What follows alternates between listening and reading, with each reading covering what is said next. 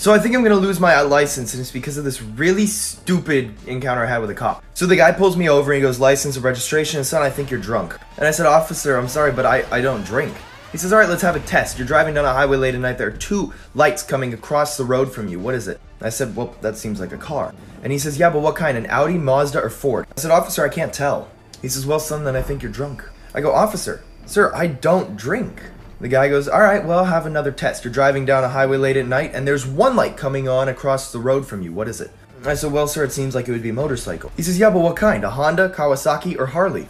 And I said, Officer, I don't know. I said, Well, son, I think you're drunk. At this point, I had enough, so I said, All right, I have a counter question for you, officer. He says, What is it, son? I say, You're driving down a road late at night, and there's a lady wearing fishnet stockings, a miniskirt, high heels, and only has a bra for a top. What job does she have? And the cop says, Well, it sounds like she's a prostitute.